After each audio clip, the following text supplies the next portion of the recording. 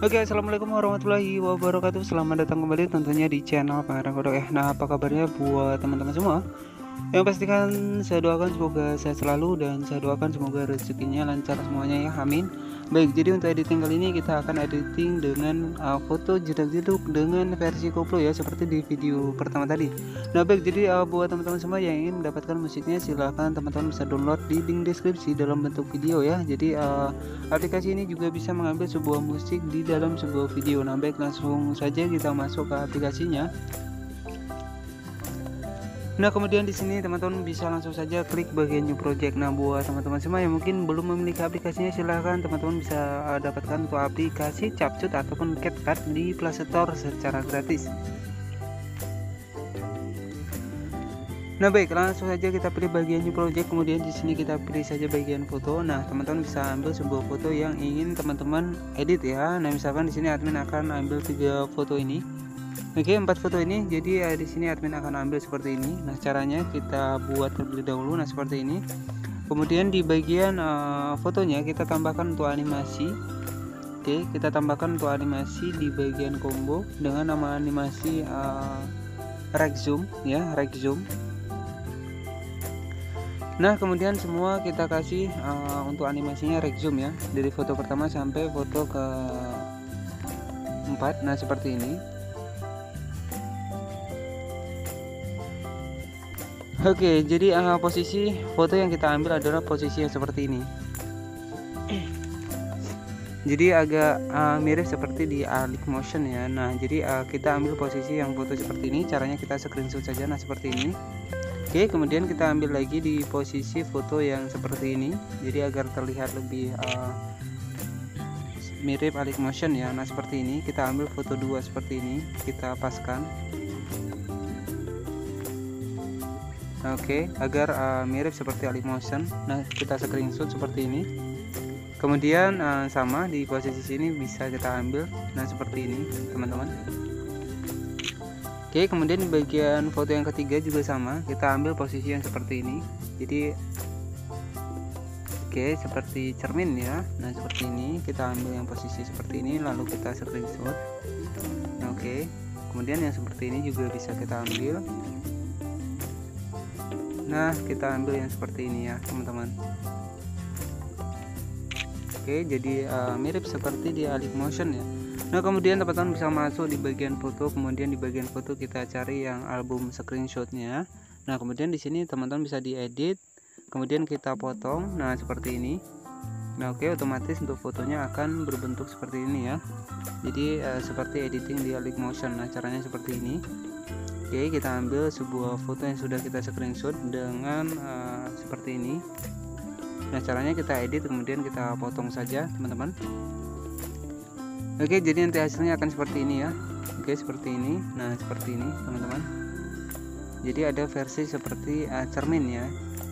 Jadi seperti di AM Nah baik kemudian uh, setelah selesai teman-teman potong kemudian kita langsung saja masuk ke bagian aplikasinya. Kemudian di sini kita masuk kembali kita membuat file utama. Caranya kita masukkan sebuah foto yang ingin kita edit ya. Nah oke okay, baik di sini kita klik lagi tanda plus kemudian kita tambahkan sebuah foto yang sudah kita screenshot tadi. Nah seperti ini. Kemudian caranya kita tekan fotonya dan kemudian sisanya bisa kita split nah seperti ini ya teman-teman. Oke. okay dan untuk animasinya kita cukup menggunakan uh, beberapa animasi tidak begitu banyak. Oke seperti ini ya. Jadi kita ambil posisi yang seperti cermin. Nah kemudian di sini teman-teman bisa dapatkan transisinya. Caranya kita klik saja bagian potongannya. Kemudian di sini kita cari yang namanya white flash. Kemudian di sini kita pilih bagian apply to all Oke untuk bagian pertama di sini teman-teman bisa uh, nanti akan kita bahas. Oke untuk di bagian sini di bagian sini kita bisa tambahkan untuk animasinya di bagian combo. Jadi untuk di bagian awal nanti akan kita bahas untuk animasinya. Kita langsung masuk di bagian animasi yang seperti ini. Oke di bagian sini kita menggunakan animasi di bagian spin.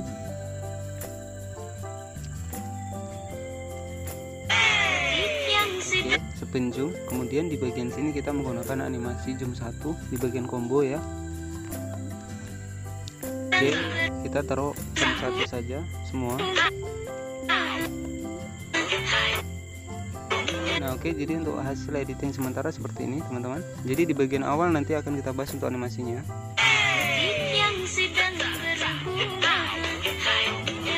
Oke okay, seperti itu. Dan teman-teman bisa dipotong-potong sampai di akhir dari uh, bitnya dan kemudian di sini admin sudah menyediakan sebuah video yang sudah jadi. Oke di sini admin akan cari. Oke yang ini jadi untuk foto yang pertama di sini kita masuk ke bagian animasi di bagian in ya. Teman-teman kita masuk di animasi bagian in. Untuk foto yang pertama di sini menggunakan rock vertikal. Oke kita menggunakan rock vertikal. Kemudian yang kedua menggunakan rock horizontal. Kemudian yang ketiga menggunakan rock vertikal kembali. Dan yang keempat menggunakan uh, ray kebatan ya. Oke kemudian untuk selanjutnya kita hanya menggunakan zoom satu dengan dan spin zoom ya seperti di video pertama tadi sampai di akhir. Nah untuk hasilnya adalah seperti ini.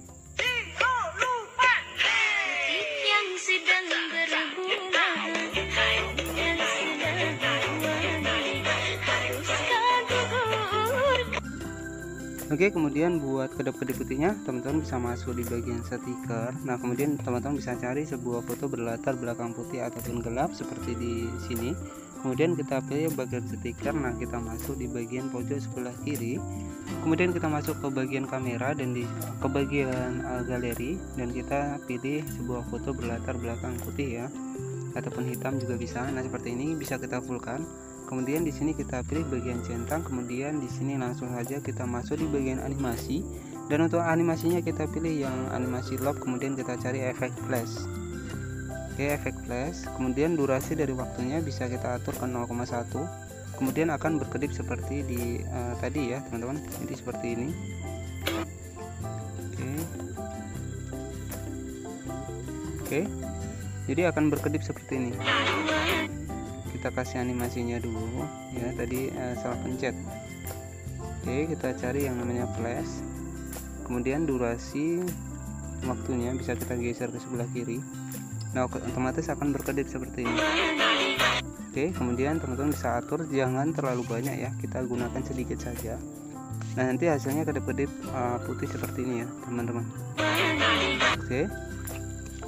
Tetapi di sini kita cukup menggunakan uh, ukuran segini saja. Nah, oke. Jadi itulah animasi transisi sudah kita bahas ya untuk transisinya sudah kita bahas kedap-kedip putih pergantian foto sudah kita bahas. Kemudian di sini kedap-kedip uh, putih dengan versi cepat menggunakan sebuah foto berlatar belakang putih. Dan itu saja hanya animasi yang admin gunakan. Kemudian setelah selesai jangan lupa buat watermarknya bisa kita klik dan kita hapus. Kemudian uh, di sini kita langsung saja masuk ke bagian tanda panah di pojok sebelah kanan atas lalu kita pilih bagian ekspor Nah oke okay, jadi uh, buat teman-teman semua yang mungkin masih pemula di aplikasi Capcut silahkan ketika uh, ingin editingnya teman-teman bisa dapatkan aplikasinya di Play Store secara gratis ya. Dan pastikan ketika kita editing di aplikasi Capcut pastikan datanya juga harus aktif ya karena animasi juga tidak bisa kita gunakan tanpa menggunakan data. Nah baik jadi uh, kita sudah selesai kita bisa share ke tiktok ataupun kita pilih saja bagian selesai. Nah untuk hasil editannya adalah seperti ini ya kita masuk di bagian video dan uh, kita pilih yang pertama. Nah jadi seperti ini teman-teman.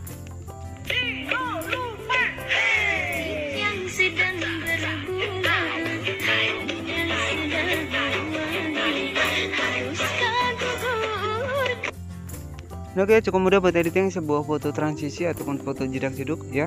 Uh, buat teman-teman yang ingin mendapatkan musiknya silahkan teman-teman bisa download di link deskripsi ya dalam bentuk video. Nah semoga bermanfaat. Jangan lupa untuk klik tombol subscribe dan aktifkan lonceng notifikasinya agar teman-teman mendapatkan pemberitahuan terbaru dari channel ini. Nah, oke selamat malam dan wassalamualaikum warahmatullahi wabarakatuh